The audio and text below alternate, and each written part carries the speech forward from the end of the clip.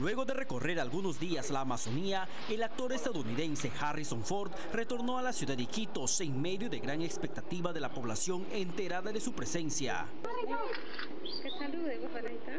El protagonista de Indiana Jones y Guerra de las Galaxias, junto a su esposa y actriz Calista Flockhart y su hijo Liam de 12 años, visitó la Reserva Nacional Pacaya Samiria. También recorrió el río Amazonas.